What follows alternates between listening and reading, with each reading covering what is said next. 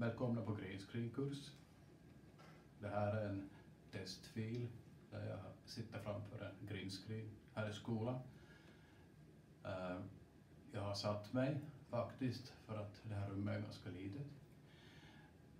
Jag har en greenscreen som är en bit bakom mig för att jag inte ska kasta skugga. Du ser att om jag sätter handen bakåt här så ser ni att det kanske kommer skuggor av handen. De här skuggorna kan ibland vara lite knepiga att ta bort. Det är också bra att ha en green screen som är väldigt slät, så slät som möjligt. Däremot duger egentligen vilken färg som helst, det behöver inte vara grönt, det kan vara andra färger också. Bara de avviker från det man har på sig, hudens ton, och man undviker att få sådant grönt sken på sig som ibland kan kastas av den här skärmen. För att då blir man luddig i kanterna Det kan man ju bli ändå, men det är någonting som man behöver tänka på.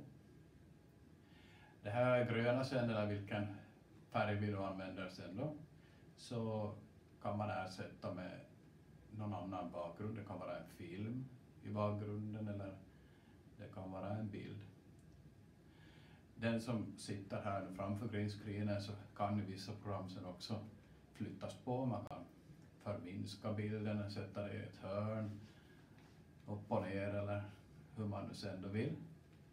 Lite beroende på hur programmets egenskaper. Så den här filen bland annat så får ni använda som testmaterial för att testa vad olika program kan göras. Den är inspelad på en iPad med kamerafunktioner så att ingenting speciellt där.